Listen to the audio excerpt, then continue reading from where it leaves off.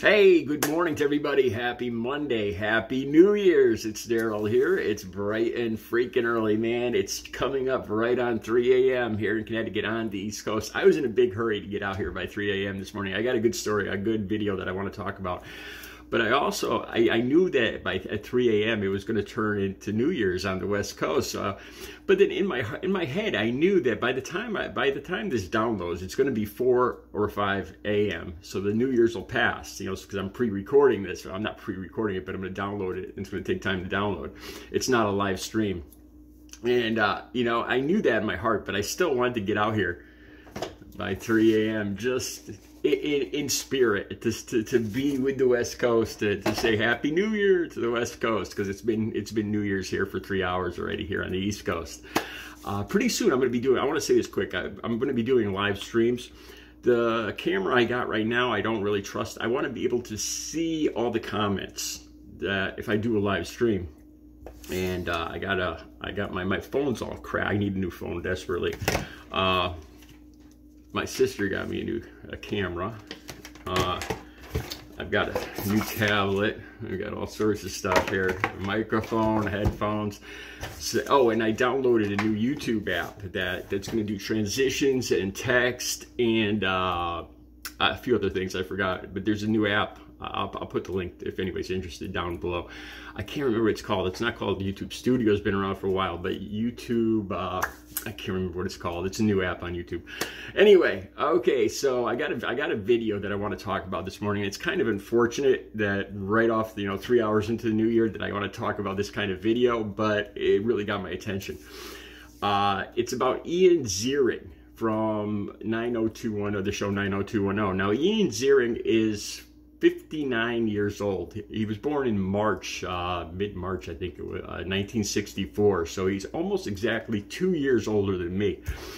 And this was yesterday. This was Sunday. So this is this is fresh news, and it's probably going to be making all the the news channels, all the the, the news this morning.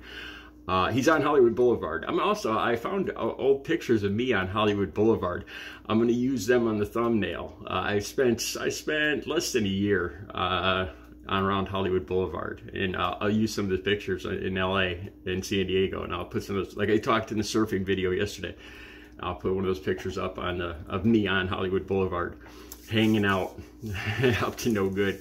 Uh, all right, so he, Ian Ziering, He's going down Hollywood Boulevard Sunday. It's a great car. I'm not sure what it is. I'm not sure if it's an electric car or a Tesla or what it is, but it's a new great car. And apparently, now there's a bunch of, they, they call them bikers on TMZ, but these aren't no bikers on East by East Coast standards or by any standards. These are little mini bikes, like with wheels this big and it's a it's a it's a bunch of little uh, uh, of, of young people. It looks they, they look like high school about high school age, uh, maybe about eight to 10 at the most on little mini bikes on Hollywood Boulevard. And apparently, apparently it says on TMZ that they might have bumped into Ian Ziering's car. So he gets out and he starts pounding on one of these, these mini bikers. And the rest of them automatically, you know, instantly turn around and come back and just start wailing on Ian Ziering the the videos it's a little i gotta warn you it's you know it's a little disturbing. To me I, have been in this situation I, am to talk about that i've been on both sides of the situation. I i just at 50 almost 58 years old i remember things every day. And i remember being on the wrong side of this and i'm to talk i haven't talked i've never talked about that. But anyway so Ian starts to run across Hollywood Boulevard, which is like, I think it's like three lanes, four lanes on each side. It's a big road. Yeah, I'm surprised he didn't get hit. And uh, they chase him across the road. Of course, of course they chase him.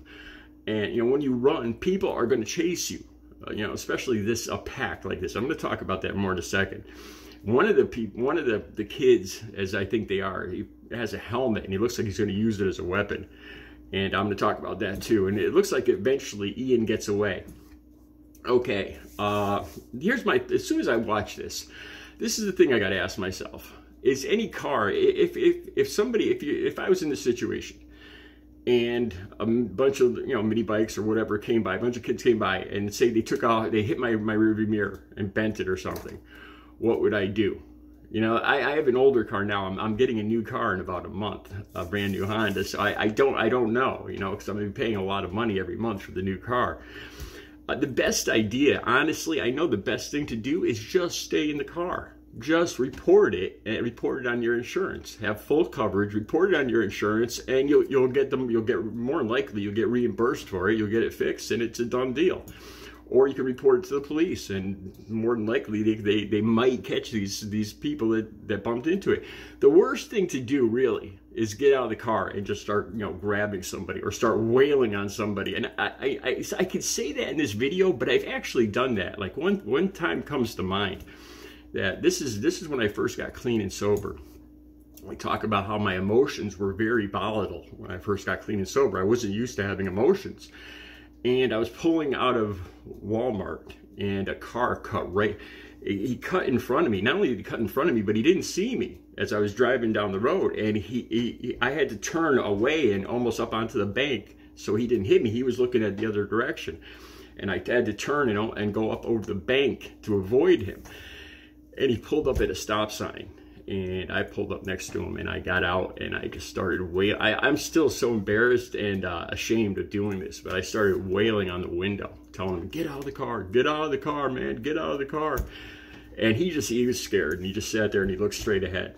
And I got back, I eventually got back in my car. But, you know, today, I'm, I still remember this. I, I wish to God I never did that. I am ashamed of doing that you know, over over what? And you know, and I realized that's just fear. A lot of times, anger and hatred is just fear. Fear that I was going to get hit. Fear that I was going to, you know, lose money. My car was going to be damaged. That's it's really all it is.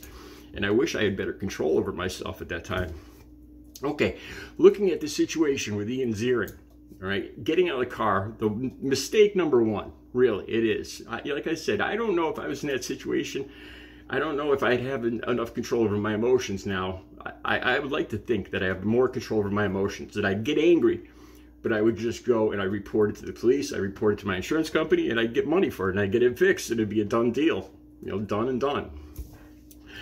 Uh, okay, so he gets out and he starts. Uh, I don't know if he's trying to apprehend this person, but he looks like he's wailing on this person. You know, and that's that's you know that's just not good. You know, he who lives by the sword dies by the sword, and that's that's the truth. So the other people come back, and this is I've I've learned this in these situations when uh, because I've had to face multiple opponents in, in fistfights before. Like I've told you guys that before, like four or five people, and I had my nose broke, my face face bones broke under my eyes, and there's always going to be the leader, the alpha, and then there's going to be a beta. There's going to be the one that's going to come right at you, and then there's going to be one right behind them. Uh, every single time I've ever been in this situation, it's always been like that. The best thing to do is go right after, never run. If you run, these it's a predator instinct. If you run, all of them are going to chase you and jump on you. That's that's a given. That's a fact. And I was in the other situation. I'll, I'll tell you about that in a second. And stand your ground. And this is one of the best things just to do. I learned this even if you don't know who the person is, like if they're wearing a helmet in this video, say, I know you, man, I know you, I know who you are. And say that, say that with confidence. And I guarantee you, I guarantee you, that person's going to stop, you know, because they think they're anonymous with their head covered or whatever. And uh, if you start saying it with confidence, I know you, man. I, you know, they're going to be like, oh my God, is this is this my next door neighbor? Is this, you know, it's a good thing to do. It really is. Remember that. If, if a bunch of people come at you like this, go, I know you, man. What are you doing? I know you. And say it with confidence.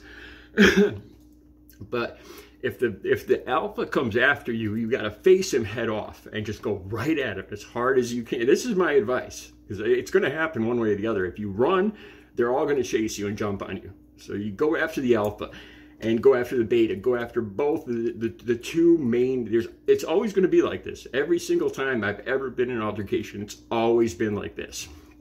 And the other ones will back off. What I call I call them the hyenas, the, the opportunists, the followers. Uh, if you run, like you see in this video, there's this like chubby girl and she's what I call a hyena. I don't mean to insult her, but she's an opportunist. You know, Ian runs and she starts chasing him. You know, but if, if she if this, if Ian stood his ground and faced the, the one or two that were right in his face, guaranteed this or this other one wouldn't come after him.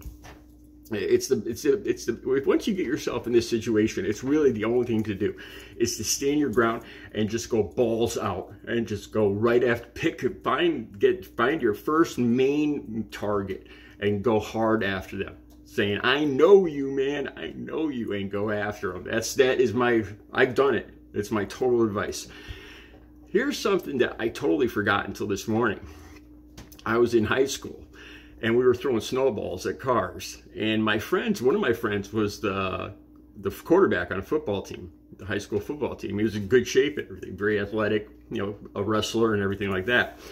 And then my other friend, also a wrestler, and then uh, my friend, the quarterback, his younger little sister.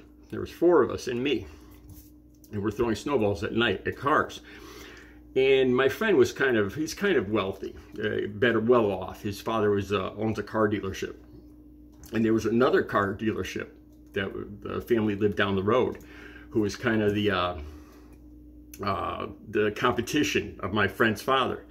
So we went to this guy's house, this big house, and we started throwing snowballs at the front of the house, at the windows, at the doors, and everything. So we're pelting this house, and you know, and we see the lights come on, we'd run. And then we come back, we throw more snowballs, lights would come on, we'd run. All of a sudden, the the owner, the father, comes. He snuck out of the house and he comes charging across the lawn at all four of us. And this, and again, it, it was yeah. I, I wasn't the alpha. With me, I was dating the younger sister of my friend, so I kind of just fell back and protected her. The the quarterback, my friend, he went right after. He was only like 17 years old, and he went right after this guy he was the alpha in this situation, and my other friend was the beta. And they started swinging on this guy, this father, this guy that was probably in his mid 40s. And he looked stunned, you know, but uh, he kept coming at us, even though, you know, we were, my friends were swinging at him. And he, my friends were stunned, you know, they, they hit him and he still, you know, he was, he was a full grown adult male. And he, and he still kept coming even after my friend gave him a good shot. And that scared my friend and all of us, and we started running, and we hid under bushes, and and that was it. But I've been on both sides of this. And once, my, my advice is don't get out of the car. A car, a car, car damage is fixable. You know, getting bashed in the head. That's another thing. This, this one of these, these people are swinging a helmet. And a helmet was not made to be a weapon. When a person swings a helmet, it's to they're going to go wide and they're going to lose their balance. They're going to go way off balance. You know, that weight's going to carry through when they swing. You just stand back, let them swing once, let the helmet go by, and then come in right on them. Because a helmet was not made to be a weapon. It's unwieldy. It's too heavy. You know, it's a it's a very bad weapon unless you're an idiot and you're running in the other direction and you get hit in the back of the head when you can't see it coming. That's my advice. It's hard to do, really. Uh, honest, to be honest, so either either when it comes down to it, it's it's fight or flight. And some people just have it naturally in them, I believe, to, to fight. And some people have it in them to, for flight. It's just, I think it's a first inbred response, you know, going all the way back to whatever happened in your childhood. But my advice would be don't get out of the car in the first place. A damaged car, a scratch on your car, a, a missing rearview mirror is not worth what's going to happen to you in this situation uh, or what could happen to you. And if you get out, go after the leader and go hard and say, I know you, man. And it'll, it'll throw them off balance. It'll stun them and it might give you the opportunity to get the upper hand. That's, that's my advice for this. Uh, the link will be down below. The video will be down below. You guys have a great New Year's. I got another video coming up today.